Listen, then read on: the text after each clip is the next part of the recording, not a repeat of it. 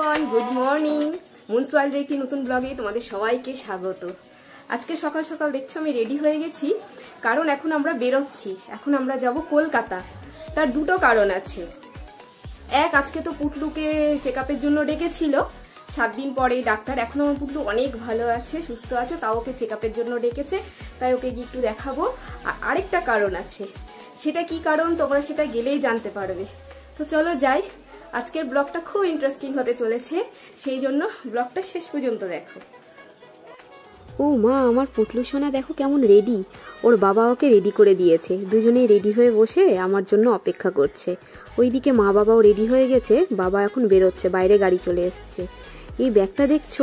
এই ব্যাগের মধ্যে পুটলুর জন্য কিছু খাবার নেওয়া হয়েছে। আজকে আমি যে ড্রেসটা পরেছি, এইটা প্রান্তিক আমাকে দুর্গাপূজার সময় দিয়েছিল ট্রেন্ডস থেকে কিনে। খুব সুন্দর না দেখতে? ফিটিংসটাও খুব সুন্দর এই ড্রেসটার। আমরা বেশিক্ষণ বেশিক্ষণের জন্য যদি বাইরে বেরাই মানে পাঁচ ঘণ্টা, ছ ঘণ্টা এরম সময় লাগবে যদি বাড়ি ফিরতে, তাহলে ব্যাগে করে পুটলুর জন্য কিছু খাবার নিয়ে যেতেই হয়।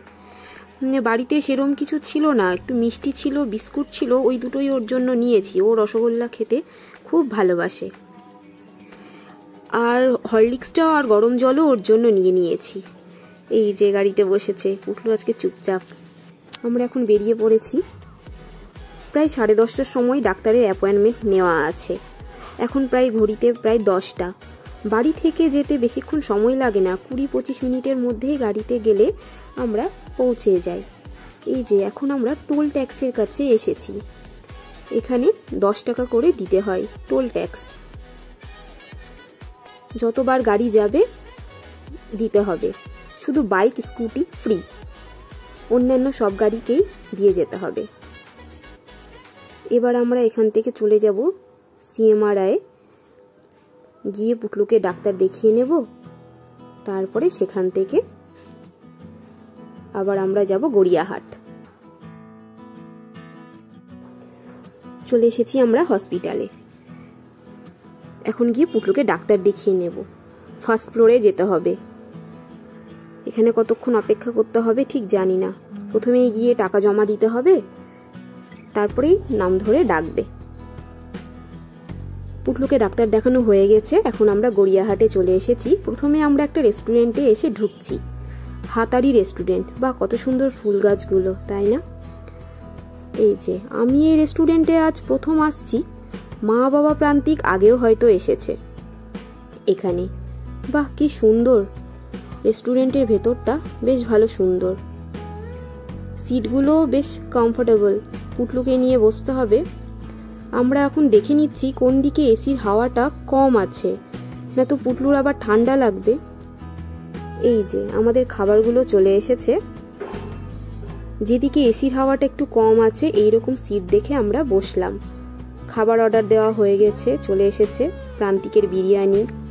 আমি আর বাবা সেম অর্ডার করেছি বাটার নান আর মা অর্ডার করেছে তন্দুরি রুটি তার সাথে ফিস দো পেঁয়াজা। এটা অর্ডার হয়েছে। পুটলুর জন্য আমরা এখানে এসে একটু হরলিক্স গুলে নিয়েছি। ওকে হরলিক্স খাওয়ানোর চেষ্টা করা হচ্ছে। ও চকলেট হরলিক্স বেশ খায় ও। এই ছোট ছোট পেঁয়াজগুলো দেখো কি সুন্দর। মা যে তন্দুরি রুটি নিয়েছে সেটা থেকে একটু একটু করে পুটলুকে দিচ্ছে। পুটলুর সেটা ভালো লেগেছে। ও তা ওর পুরোটা হরলিক্স খেলো না। এই যে, মায়ের থেকে একটু করে ওই তন্দুরি রুটি ওই খাচ্ছে। ওর ভালো লেগেছে, সেটা ওই নিচ্ছে। আমরা দুপুরের লাঞ্চটা এখানেই করে ফেলছি। তাহলে আর বাড়ি গিয়ে কিছু রান্না করতে হবে না। হয়তো বাড়ি ফিরতে ফিরতে হয়তো তিনটে বা চারটা বেজেও যেতে পারে। এখন তো প্রায় ডেটটা হয়ে গেছে।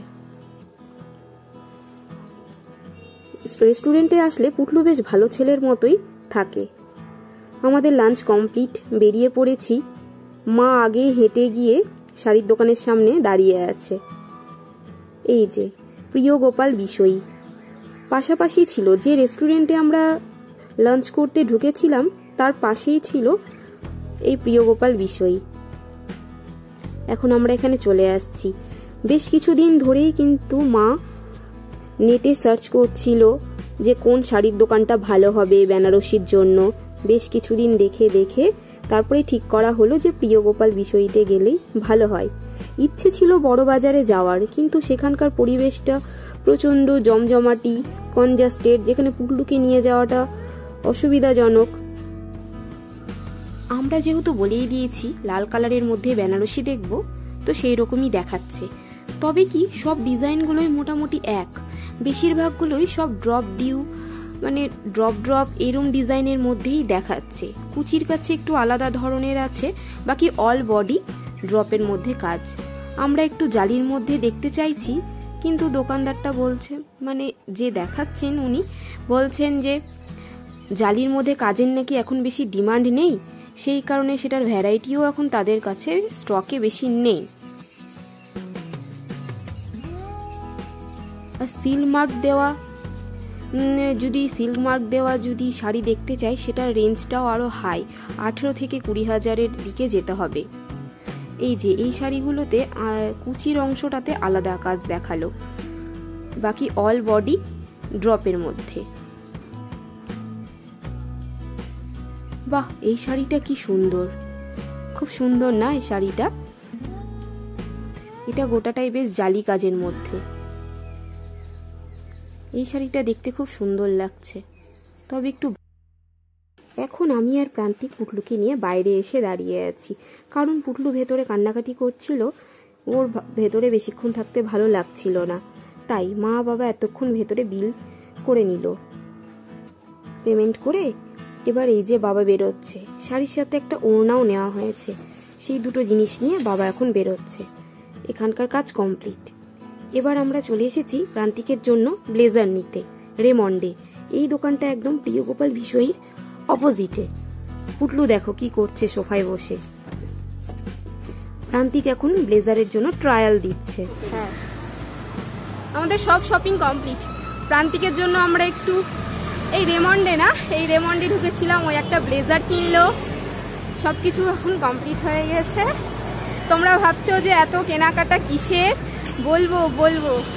দারুণ একটা স্পেশাল দিন আসতে চলেছে। খুব তাড়াতাড়ি। আমাদের শপিং কমপ্লিট এবার আমরা বাড়ি ফিরবো। এই চলো।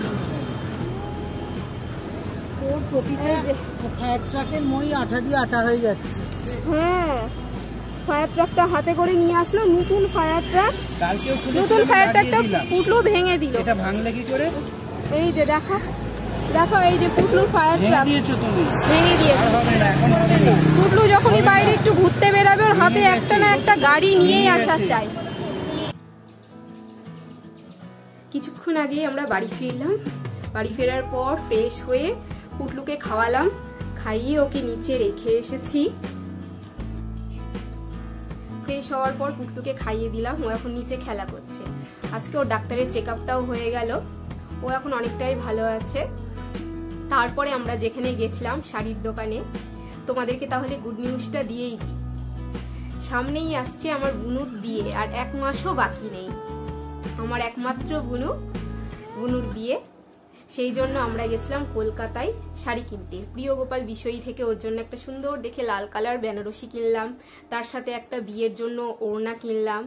তবে শাড়িটা এখন দেখাতে পাচ্ছি না, কারণ শাড়িটা ব্লাউজ পিস কেটে ফলস পিকো করার জন্য আমরা রেখে এসেছি। আর তার সাথে আরও শপিং হয়েছে, সেটা হলো প্রান্তিক একটা ব্লেজার কিনলো। খুব সুন্দর হয়েছে ব্লেজারটা সে, সেটাও আমি দেখাতে পারছি না, কারণ সেটাও ও হাতটা একটু লম্বা ছিল বলে ফিটিংস করার জন্য রেখে এসেছে। খুব সুন্দর আজকে শপিং হলো। তারপরে আজকে দুপুরের লাঞ্চটাও আমরা বাইরে রেস্টুরেন্টে করেছি হাতারিতে সেখানকার খাবারও খুব দারুণ ছিল, অসাধারণ। আর আমি রেস্টুরেন্ট মানেই আমার ধরা বাঁধা একটাই খাবার থাকে। বাটার নান আর বাটার পনির মশালা আমি রেস্টুরেন্টে গেলে মানে মেনুতে আর অন্যান্য কি আছে না আছে আমার ওগুলো দেখতে আর ইচ্ছেই করে না। আমার ধরা বাঁধা থাকে যে বাটার নান আছে কিনা আর বাটার পনির মশালা আছে কিনা। যদি এইটুকু, এই দুটো যদি কোনো রেস্টুরেন্টে না থাকে, তখন আমি অন্য কোনো আইটেমের দিকে তাকাই, অন্য কিছু আর কি আছে সেটা ভাবি। না তো এই দুটো থাকলে আমি এই দুটোই অর্ডার দিব। তো যথারীতি আজকে ওটাই খেয়েছি আমি। আর প্রান্তিকও যেমন ওর ধরা বাঁধা বিরিয়ানি চিকেন বিরিয়ানি, ও সেটা খেয়েছে। তো আজকের দিনটা আমাদের খুব দারুণ কেটেছে, খুব ভালো লেগেছে। জানুয়ারি মাস থেকে ওর শাড়ি কেনার কথা ছিল। কিন্তু তার মাঝে সরস্বতী পুজো চলে আসলো। আর সরস্বতী পুজো থেকে পুটলুর শরীরটা খারাপ হতে শুরু করল। সেই নিয়ে আমরা এত ব্যস্ত আর এত চিন্তায় পড়েছিলাম, সেই জন্য ওটা ডিলে হচ্ছিল শাড়ি কেনাটা। তো ফাইনালি আজকে দুটো কাজ একসাথে হয়ে গেল, পুটলুর চেক আর শাড়ি কেনাটা হয়ে গেল। এরপরেও কিছুদিন পর থেকে আরও খুব দারুণ দারুণ ব্লগ আসতে চলেছে। তাই তোমরা দেখতে থাকো মিস করো না। তা আজকের মতো ভিডিওটা আমি এখানেই শেষ করছি। তোমাদের ভালো লাগলে অবশ্যই একটা লাইক করবে কমেন্ট করবে, কিছু বলার থাকলে। আর আমার চ্যানেলটা যারা সাবস্ক্রাইব করনি প্লিজ তারা সাবস্ক্রাইব করো। আজকের মতো, টাটা। বাই